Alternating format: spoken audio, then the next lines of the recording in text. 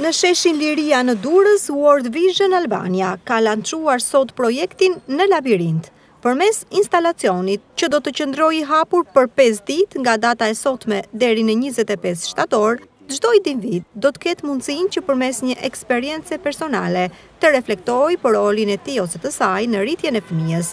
Sot në hapjen e këtij aktiviteti kanë qenë të shumtë prindër ose gjyshër që kanë kaluar nëpër këtë labirint dhe kanë përjetuar një eksperiencë të veçantë, ndërkohë që pjesë e këtij aktiviteti është bërë dhe kryetarja e Bashkisë së Durrësit Emiriana Sako.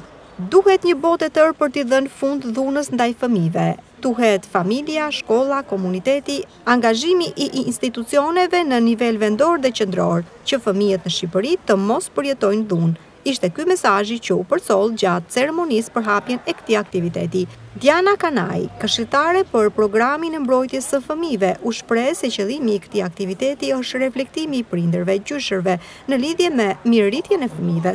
Në fakt, ne kemi vite që punojmë me fëmijët edhe familjet dhe nga vlerësimet tona të brendshme kishim vënë re që ka gjithmonë kontradikta dhe ka gjithmonë vështirësi në marrëdhënien ndërmjet fëmijës dhe dhe prindërve. Dhe vërtet është ajo që ju po thoni, prindërit ndonjëherë ndihen si në një labirint të vërtetë, ndërkohë që duhet të marrin vendime për uh, fëmijët e tyre, për mirërritjen e fëmijëve të tyre. Ajo që ne kishim vënë re është që zakonisht prindërit uh, për shkak të ndonjëherë edhe të uh, padijes, ndonjëherë edhe të vështirësisë ku ndodhen, marrin vendime që nuk janë gjithmonë në më të mirën e fëmijëve të tyre.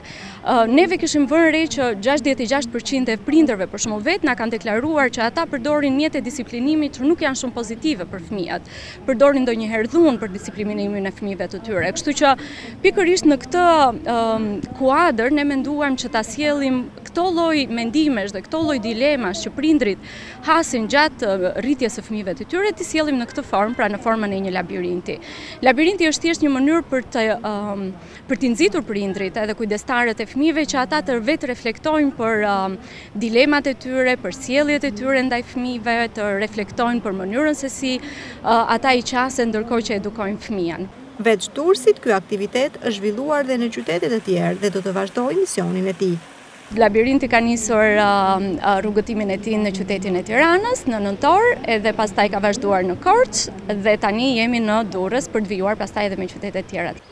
Kanaj thotë se prindërit pasi kanë vizituar labirintin janë vendosur në pozicionet e reflektimit dhe kjo tregon pozitivitetin e kësaj nisme.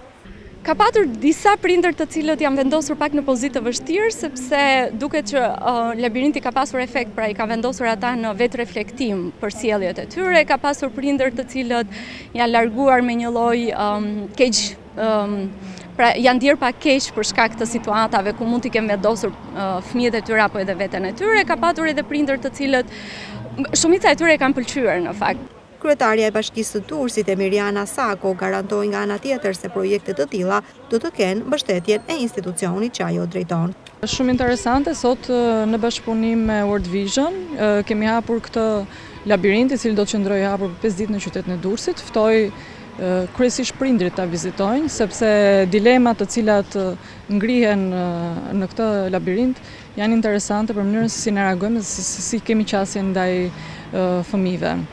Bashkia e Durrësit është ka qenë pionere në hapjen e qendrave dhe mbështetjen e shtresave në nevojë dhe ne do të kemi prioritet që këto projekte sociale me bazë sociale, të cilat parashikojnë jo vetëm integrimin edhe përballjen me problematikat, por edhe parandalimin të jenë në prioritetin tonë si institucion. Në përputhje me masat anti-Covid, për çdo vizitor sigurohen pajisje mbrojtëse personale. Hyrja në labirint është individuale dhe me një distancë kohore tre minuta nga vizitori paraardhës. Për personat me aftësi të kufizuar do të ketë shoqërues që i lehtëson aksesin në labirint.